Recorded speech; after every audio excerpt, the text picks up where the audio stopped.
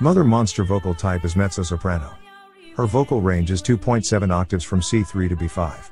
She has a powerful, passionate, multifaceted voice. Not only is it an expressive and well-controlled instrument, but it's one that doesn't weigh on melisma to impress. With her excellent breath control and knowledge, the diva can hold notes, jump octaves and play with vocal dynamics. Lady Gaga's low notes are well supported, and have a dark, solid and medium weight to them. The mid-range can be controlled, measured and mature, theatrical, poised and smooth or guttural, raw and raspy. It's perfect for pop music with the character stripped back, and a light with a bright quality used. All this vocal variety comes from Gaga's excellent understanding of placement and technique. The lower part of the belting range has a weight and thick timbre to it, as well as a strong resonance thanks in large part to the superb support she provides it.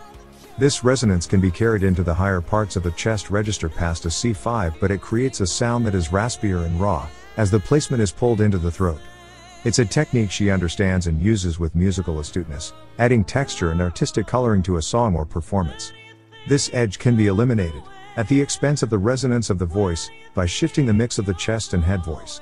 The resulting sound produced is clearer and brighter with a healthier sound and an elastic quality.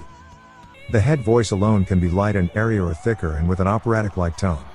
Despite not utilizing this part of the range often in her pop output, Gaga has shown extreme comfort and skill, being able to sing within it without issue and in a connected fashion with the rest of her range for example in the Sound of Music medley.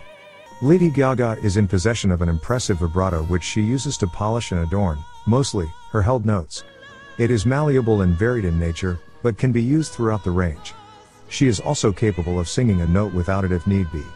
Vocal negatives. Lady Gaga's high belting can sound like shouting at times if the notes are pulled up into the throat.